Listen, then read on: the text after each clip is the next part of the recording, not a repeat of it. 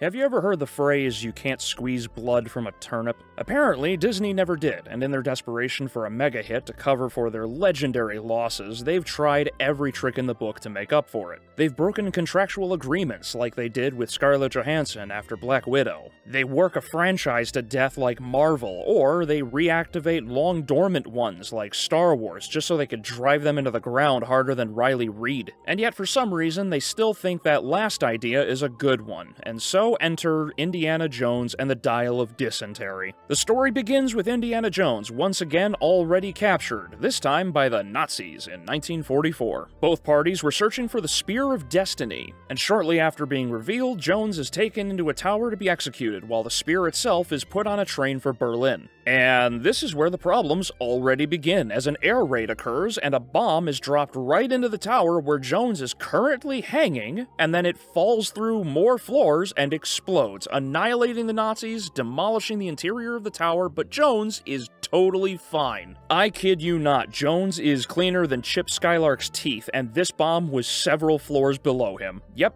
it's that kind of movie. So Jones races off to catch the train and tracks down the spear, only to find that it's actually a fake, because the real one is probably way back in Castle Nuremberg, but whatever. Metal Gear Soliding his way across the train, he crosses paths with Dr. Voller, who is obsessed with the titular Dial of Destiny. After knocking him out and rescuing his friend Basil, they are cornered on the train later by Dr. Voller, who is then promptly removed from the equation by catching the wooden beam of a mail hook to the face face at roughly 50 miles per hour, and we'll never see him again, right? So, with the dial of ruined legacy in hand, we fast forward to 1969. Jones is about to retire from teaching archaeology, believe it or not, and yet again, his relationship with Marion was ended off screen. Yeah, so much for that solid ending in Crystal Skull. Eh, oh well. Anyway, Jones is eventually approached by his estranged goddaughter, Helena, asking him about the dial of colostomy. During the discussion, CIA agents working working for, to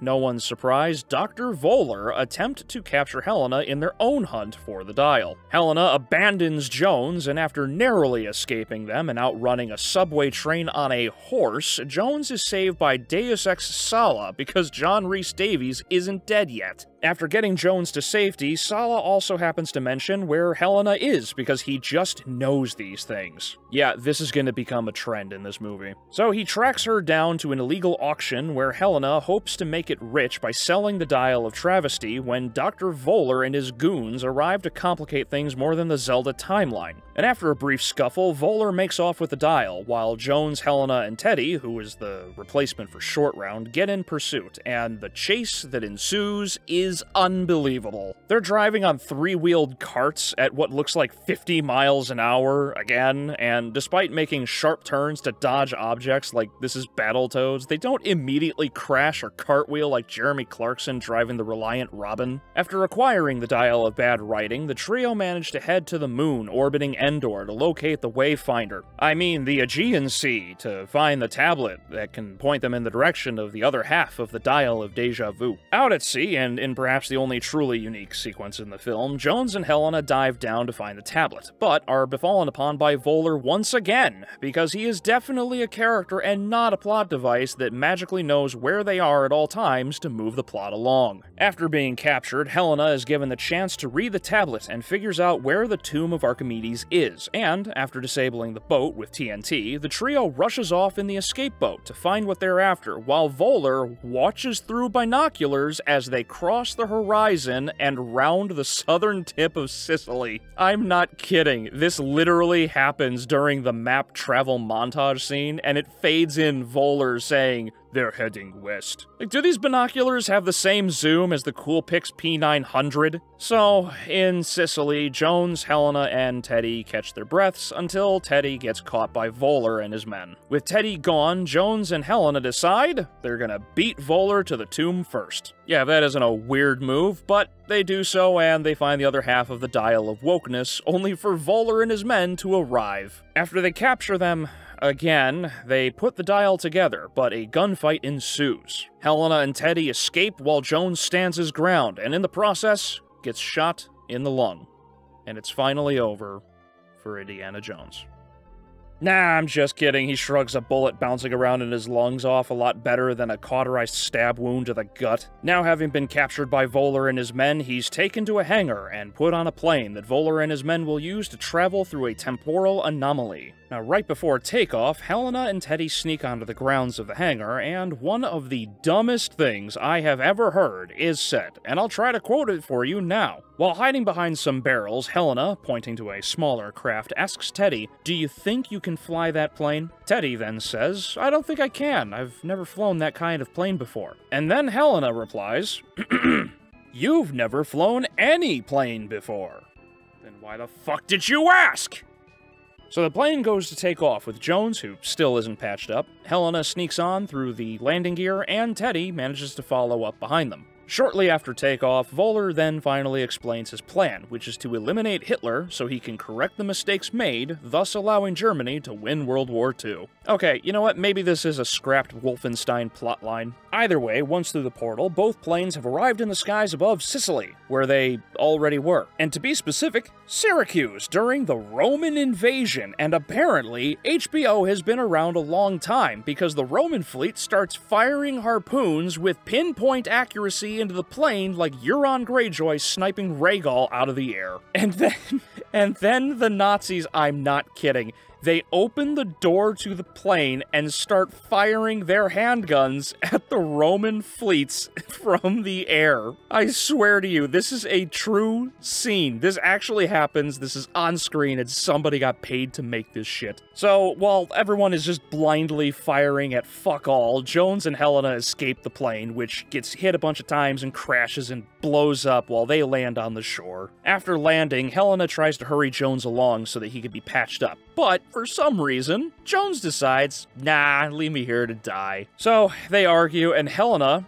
in order to get him home, punches his lights out. And after presumably a week, everything is fine, and Marion appears, because, of course, they're gonna reconcile their differences again as this visual defecation finally ends. Alright, now that the recap is finally done, let's get into the real meat and potatoes. As you've probably ascertained, this movie is nothing but a ripoff of the previous movies like Dark Fate was to Terminator. Almost every big story beat is hit in order. Now, this isn't to say that formula is inherently bad. Most of life is repetition, after all, like going to the gym, eating dinner, and wanting to rip my fucking hair out after enduring yet another franchise killer. The question is whether or not what is being repeated can be done done in a more interesting or unique way, sort of like what Spielberg did with the two Rex scenes in Jurassic Park and The Lost World. The Dial of Dysfunction, on the other hand, decides not to do that and just push rope until falling over asleep because it couldn't give a damn. Oh look, he's captured. Again.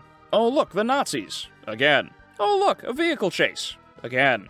Even small details, like the betrayal by an ally, occurs, and I can't help but think this wasn't so much an homage as much as it was blatant plagiarism. And again, with no enthusiasm whatsoever. I mean, the chase scenes are like 80% CGI, 5% action, and 15% fucking talking. And that's because nothing ever seems to want to end.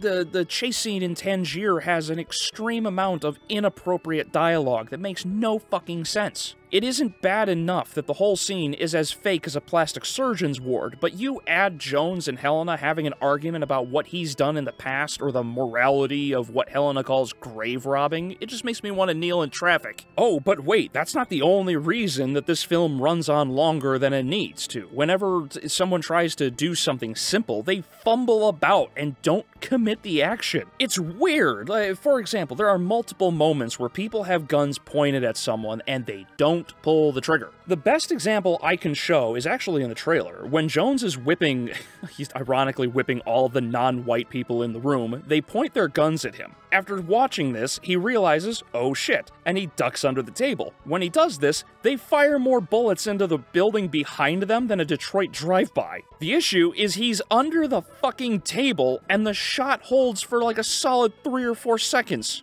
Why? Why do the most menial of tasks take so long to accomplish? And people wonder why the budget is so high, with scenes that run on and are crammed full of so much CGI it would lag out the grid. Seriously, if you thought Crystal Skull had a lot, this film took that as a challenge. Now, the tech has certainly come a long way, and while looking a little rubbery at times, the de-aging tech used on Harrison Ford is pretty fucking good, certainly better than Princess Leia, and leagues beyond Kevin Flynn. Too bad it can't help his voice, since he looks like he's in his 50s again with the tech, but still sounds like he's been smoking with COPD. There is such an excess of CGI, you almost can't believe anything that's on screen. Take the opening sequence of the film, whenever there isn't a close-up of the actors, it looks like it's mostly on green screen. You compare this to the train sequence from Last Crusade, and you can't help but be removed from it because you know there is very little, if anything, tangible on screen. But that's not the only reason for being disconnected because the characters are by far the worst part of this disgrace. The two leads are the biggest culprits. Jones is just another in the long line of disheveled, broken, and disgraced heroes of old, and I'm sure he won't be the last. If this isn't the most annoying and aggravating cliche in modern Hollywood, I don't know what is. He's a divorced loser who gives up teaching because few people share his interests, and the kernel on top of this shit souffle is that he wants to die. And that doesn't even make sense. I, I get